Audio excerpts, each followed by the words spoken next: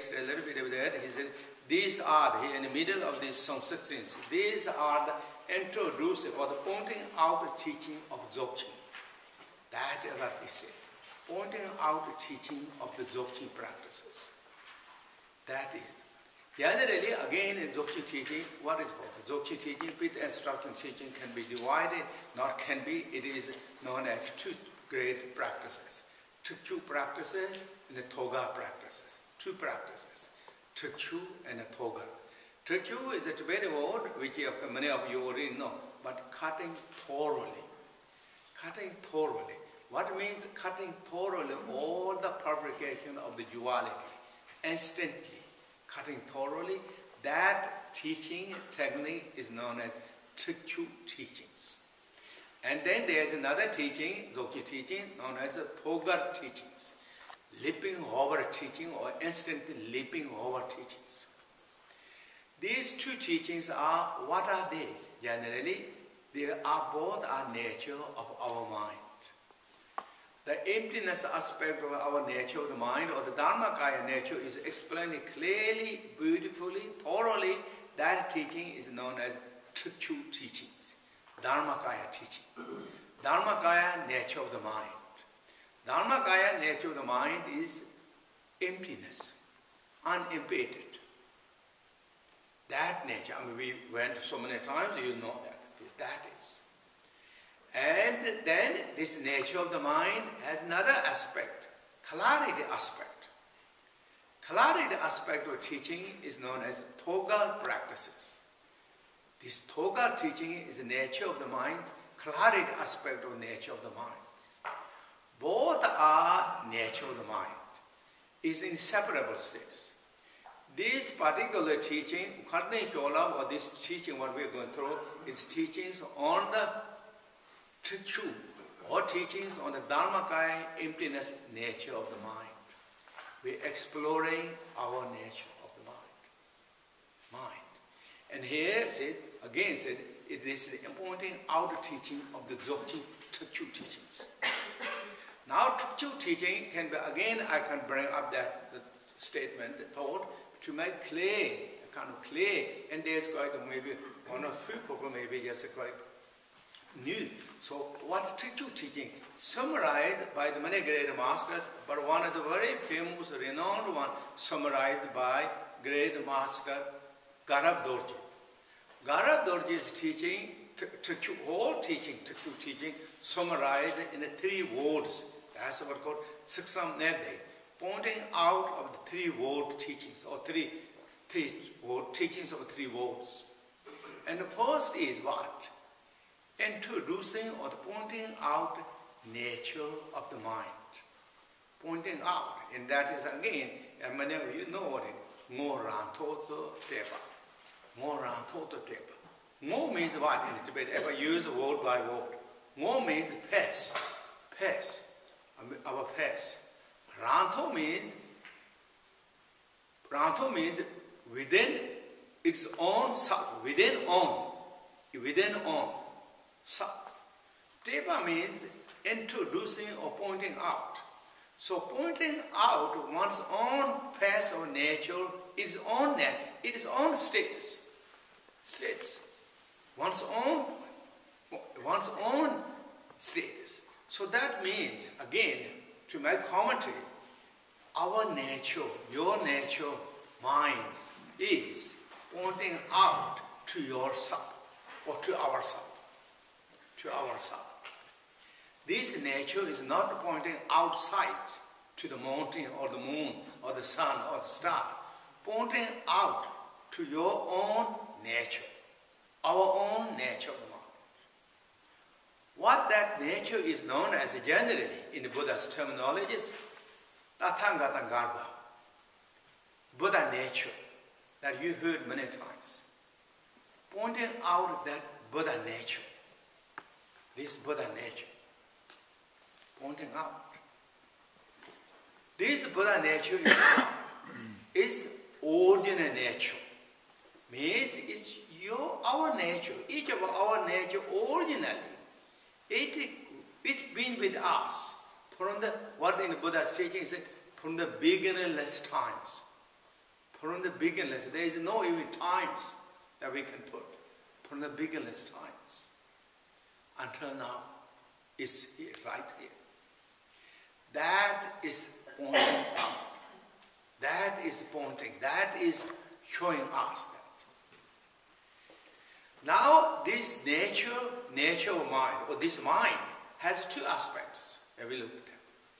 There is samsara aspect, nirvana aspect, or is what's called alaya aspect and the dharmakaya aspects. This time, what is pointed out is the dharmakaya point nature of the mind, not the alaya or in the Dzogchen teaching conception, not pointing out the conception, pointing out our own innate nature of of Dharmakaya, which in other terminology is the Tathagata Garbha, Buddha nature. Buddha nature. Nature. That is the what it is. How that is how is that Dharmakaya nature is? Or what is the difference between now conception or the conception and the Dharmakaya, or alaya and the Dharmakaya? Dharmakaya is the source of all the enlightenment in the pure land, for example. That. What is the alaya? Alaya is the source of all samsaras. Samsaras. Alaya is the source of samsara. And the Dharmakaya is the source of nirvana, every used word. Where these both are, within the mind, there is no difference, difference at all. What is the alaya? Alaya or the subconscious storehouse? It is the very basic source or very beginning of the dualities. Dualities. That's how begins, begin the samsara displays. When we are freed from out of that nature to where? Within that nature, within that space of Dharmakaya, when you free, that is known as Dharmakaya. When you free that, that is the source of all the nirvanas. So this time, what is pointing out? We are, or the Garab Dorje or the Dzogchen teaching is pointing out us directly to that authentic nature of Dharmakaya, which is never diluted by the dualities.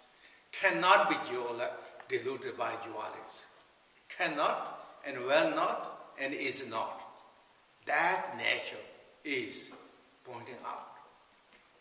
But what is now? What is that nature? Dharmakaya nature is, that rigpa. That's in, in a Dzogchen teaching, or teaching says rigpa. What this rigpa is? First rigpa or Dharmakaya is the original nature, as I said many times. And the teaching said is the basic foundation or basic, uh, the original nature of the Samantabhadra, Buddha Samantabhadra, your own Samantabhadras. We went at the beginning of the, this carnation of teaching, there is five Samantabhadras can be divided.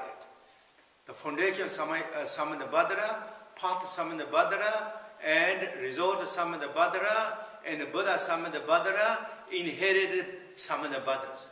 Five different Samantabhadras, we went through those, those.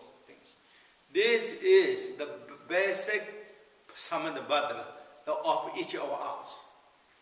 We all have this nature. This. this Samantabhadra is what? How that nature is. As I said many times, and many um, great masters always said, and Kenjipada Hiranuma said to you, unimpeded, transparent, free from all the complexities, free from all the extremes. Think of those words. It, this is not just a wording, it's exploring the each deep meaning of the, it, our nature. Each of those words explain and inexpressible, inconceivable. That is your nature, and that is my nature. That is everyone's nature. That is what the Garab Dorje is pointing out. Hey, we all, you all have that nature. This is, in this level, the Buddha Shakyamuni and ourselves and small cockroaches, cockroach, right? cockroach has no difference. No difference. Nature is the same. Or mouse, no difference. All is the same. Nature, the best. That's what when we join the prayer of Samantabhadra, what is it? I and all the sentient beings share the same nature. When you join the prayer of Kundasam, same nature, there is no difference. This is what we have to recognize. If we didn't recognize this nature, when we meditate, then our path will be not recognized or is diluted. Our achievement will be diluted too. So therefore, number one, here in the teaching said here too, here in this teaching, teachings, teaching said, it's very important, he said. This, I mean, we didn't came here after that, but it, at the end of this song said, this is very important. We didn't recognize the view perfectly. It looks like mixing up the day one. In the Tibetan lunar calendar, if day one is mixed up, then here, he, Great Master said, then all the days will be mixed up until the full moons. Full moons. And uh, this is the sometimes this story said the one nomad, nomad person, nomad person kind of like said, oh, this today is the first, first day or second day, something he said. Said, but full moon is shining in the night time. Right there, full moon. So it's full moon. But for him, who said today he starts saying that until moon comes, he starts saying it is second or third or something days he said that. Because he mixed up the dates. Dates mixed up. Similarly like this, if we mix up the will, we'll mix up the path and we will mix up the achievement. Therefore, will is very important. And what is will? Again, is unimpeded, emptiness, openness, vastness, inconceivable, inexpressible, unborn, unseen. How clearly Buddha Shakyamuni said, one after another, this gracious teacher said. This, as I said before, this is not just a kind of mythological story or telling something fairy tale other side. We can experience our own inner intelligent wisdom, find out it's true or not. Right here. Put it through the Madhava teaching and generally the Sutra Buddha teaching, kind of looks like have to investigate outside to find you have to be very intelligent, kind of all started thoroughly all this. But this time is pointing out and rediscovering all that nature, all that we detect right with our heart, right, right with our mind. Ask us, is true or not? Nature of mind is inconceivable or not? Ask us. Nature of mind is inexpressible? Ask us. Nature is mind is unborn, unceasing, or beyond unborn, unceasing? Ask us. Is true or not? This is very important. Again, here, Great Master, we should build the certainty of wisdom to the view, intellect, certainty of wisdom, confidence, truly see is as it is. This wisdom, now this ordinary nature of this Garab Dorje is one point out, the first one, which then it also can be introduced as what? Three wisdoms. As I said the other day, or sometimes, and many of you know this, it's called the, the wisdom of the great emptiness, wisdom of the clarities. Wisdom is union. Union. What that means?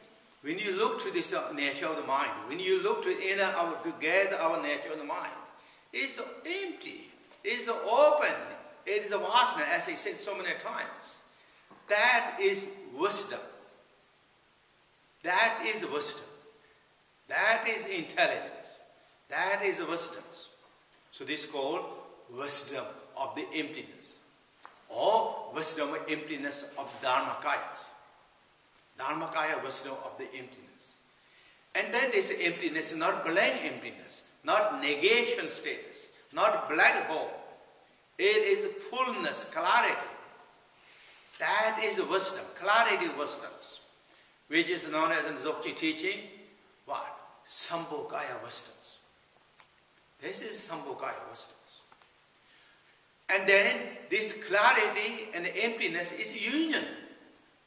There is no separation that we can make difference. That is known as union. That is also known as the pervasive energy, tugya, or the pervasive intelligence, compassion. Compassion.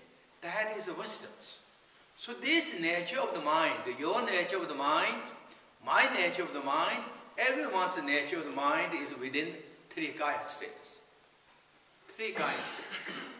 Three wisdom states, three kaya status. Status. This is, so therefore, this is the is original Buddha, original awakening Buddha Samad Buddha. We should, must be recognized, we should must be, be happy, joy to discover this nature. One, we've been wondering in samsara why? Because we didn't recognize, we didn't keep up that nature, call it as it is. We dilute, Deluded.